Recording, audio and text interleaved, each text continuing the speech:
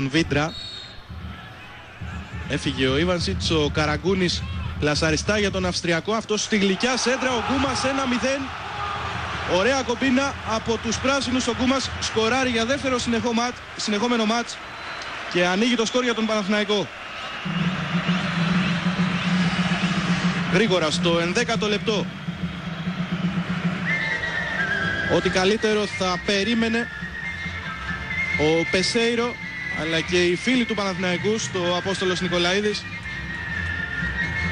Ξανά η πολύ ωραία σέντρα του Ιβανσιτς. Σέντρα μισό γκολ ήταν αυτή από τον Αυστριακό.